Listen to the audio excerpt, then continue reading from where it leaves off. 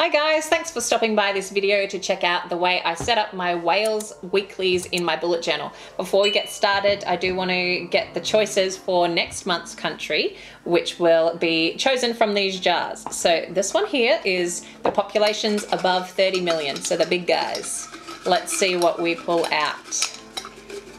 We have, we have one, we have one. We have Turkey. That would be very interesting to learn about. Then we've got the medium-sized countries, so between 8 million and 30 million.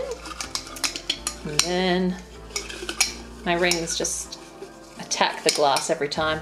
We have Greece. Oh, I would love to go to Greece. I'd love to explore Greece. Wouldn't you? Yeah. Uh, anyway, and the third one is, these are the countries beneath 8 million in population. What is it? Du -du -du Bosnia and Herzegovina. I don't know if I pronounced that right, so we'll just say Bosnia for now because it's a long, long word. That would be awesome though. I would love to explore Bosnia as well. These are awesome choices. I'm super stoked. So we have Turkey, Greece, and Bosnia. So if you want to see one of those for next month's setup, just leave me a comment down below with which one you want to see and then get your friends in and, you know, more votes for the one that you want to see the most. So yeah, um, thank you for voting. I look forward to hearing what you guys choose and now let's get on with the video.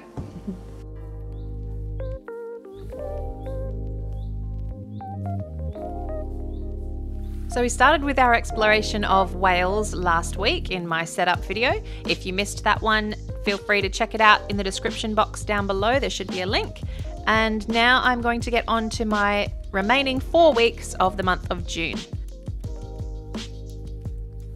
So I've been wanting to try something that I thought of a little while back, maybe a few months ago, and I've been wanting to include it in my bullet journal setups, but I could never find the exact um, sort of way to include it. And I really wanted to try my hand at painting on paint samples. So I went to my local hardware store, which is called Bunnings here in Australia, and you can grab a bunch of paint samples all for free. My kids adore doing it. They're allowed to get three to five each time we go. Um, and then one day when they were collecting some, I thought I'd collect some for myself for my art projects. So on one particular journey, I ended up choosing a very nice sky blue, really pastel, and I just loved the color itself. And I was waiting for an opportunity to paint on it. Um, and I found it this month with my Welsh little puffin illustration. So this little guy is an Atlantic puffin. Now, although he is not solely in Wales on this island, he is found in other places like Norway and Iceland and even Nova Scotia in Canada. So there's lots of places you can find this bird, but I think from what I read, there's a very, very large population of them on Skomer Island. So it's definitely a place to visit if you're in Wales and the chance to see these um, these beautiful little birds. I think they're just the most interesting bird. Like, I'm not really much of a bird person, but I really love the little puffin. So when I saw some imagery of them being high up on the tourist lists of things to see when in Wales, I just felt like I had to draw him, I had to paint him. Um, so yeah, I was just excited to do this technique of using my gouache on directly onto the paint samples. And so what I did is I had that blue one in the background. I sketched on the bird first and then tore a piece of another green paint sample to sort of represent the the grass of the island beneath it and then just went in with my gouache and it was so relaxing to do this little painting. Um, it's kind of nice having the background done for you already and then you can just focus your attention on the subject. So I really enjoyed the process of creating this page and I'm happy with how it turned out as well. So it's nice to have a bit of colour to introduce the weeklies this time. I've just added some little daisies into the foreground of that grass section just to add some interest and then for even more I have gone ahead and used some washi tape down the sides of my pages and this is just I chose something that had a nice green in it um, that would like kind of tie into the painting itself and I just love the little splash of gold in it. I'm obsessed with gold and I just love including it wherever I can in my setups. Um, so yeah, this one I think made the page stand out a little bit nicer by adding that kind of border of greens and golds. And then I'm just adding in my days of the week, and this is going to be my first weekly spread, or actually my second weekly spread for the month of June.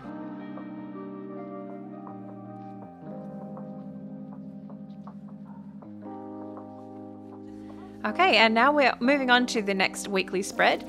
And this illustration, I decided to do a little scene from Bodnant Garden. Now, Bodnant Garden has been around, it was founded in 1874, um, and it was developed by five generations of that same family. And then in 1949, it was gifted to the National Trust, and so since 1874, it has been impeccably kept up and beautifully done. All these plants and flowers all across 80 acres of um, gardens.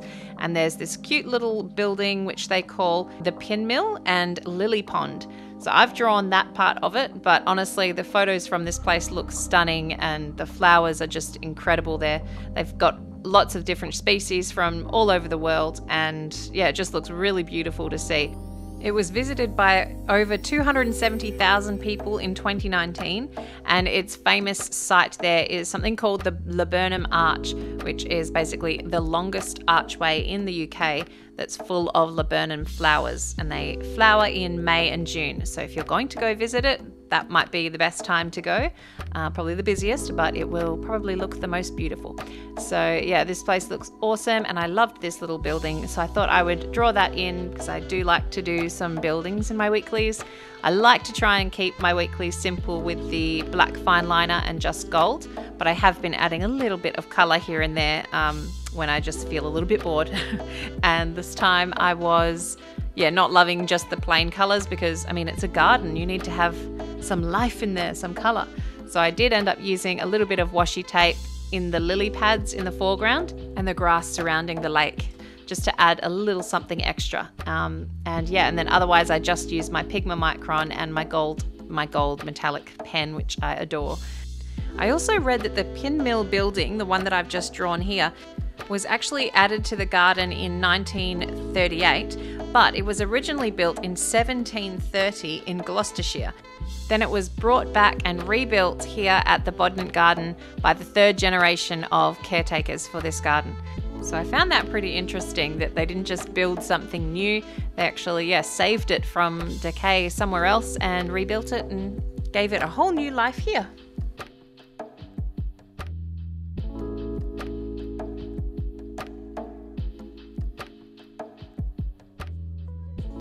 So this next page, I decided to draw a very beautiful picture that I found, which is the South Stack Lighthouse. And this is in Anglesey, on the island of Anglesey, I should say. I just feel like I do tend to see imagery of lighthouses when thinking of Wales.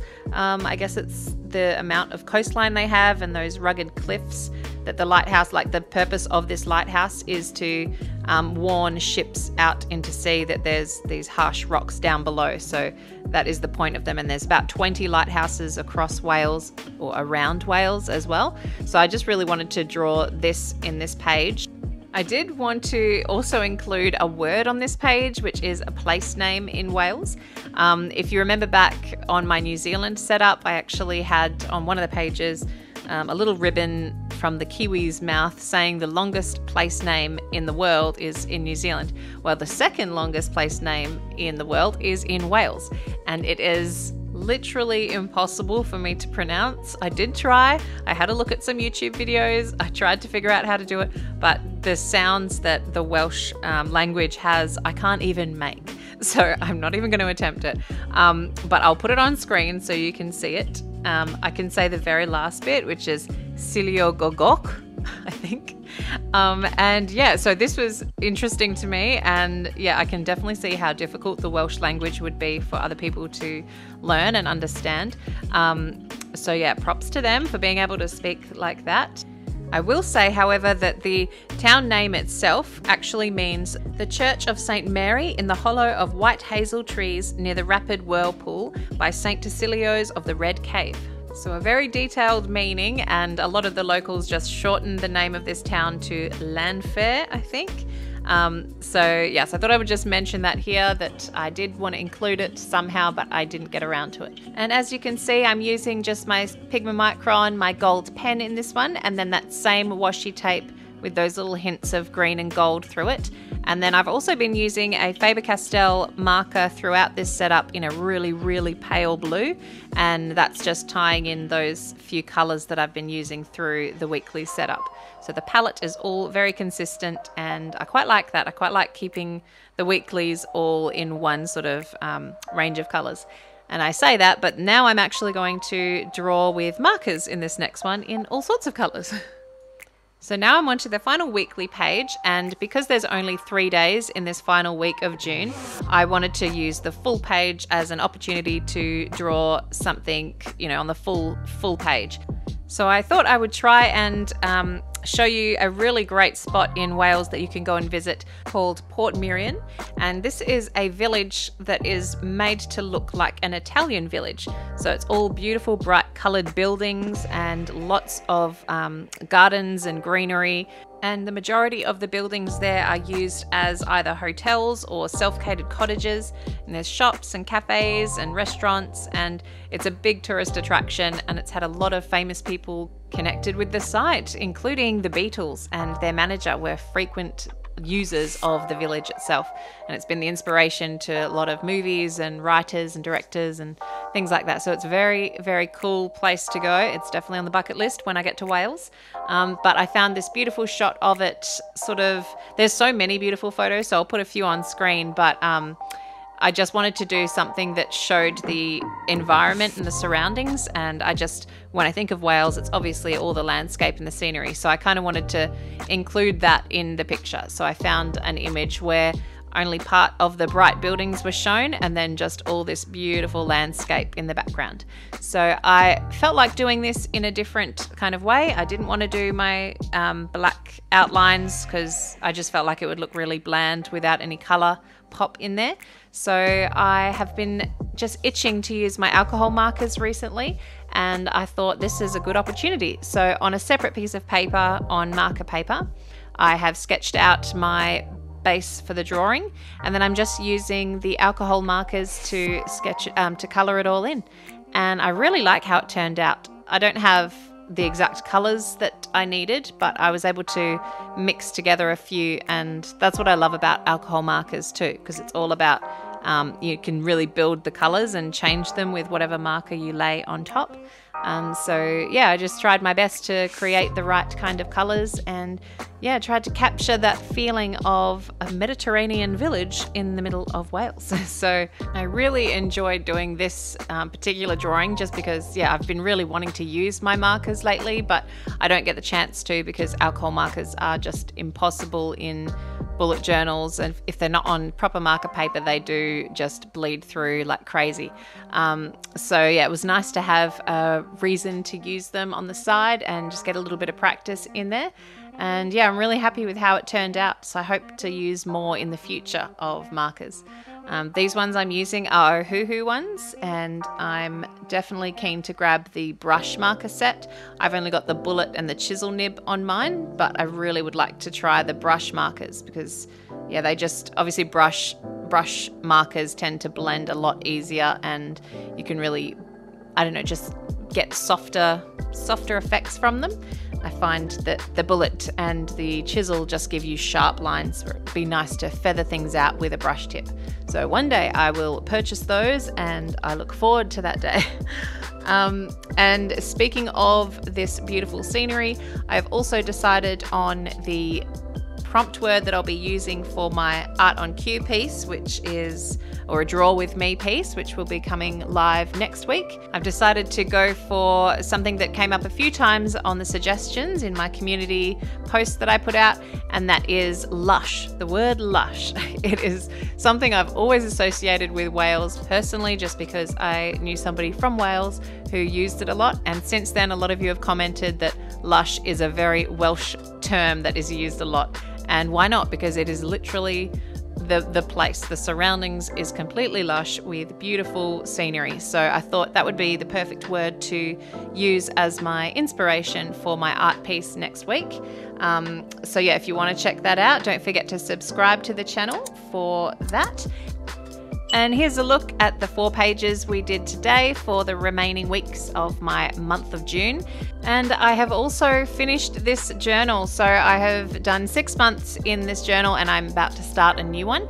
So that's always an exciting time, starting a fresh piece of stationery. Um, so I'll be setting that up in the coming weeks. So look forward to that video if you're interested in seeing the setup of how I do it. And I do hope you enjoyed this video and hearing a little bit more about Wales. And as of July, we need a new country, so don't forget to leave your votes for whichever country you would like to see down in the description box. And I look forward to hearing from you. Thanks, guys, for watching, and I will see you again soon. Bye bye.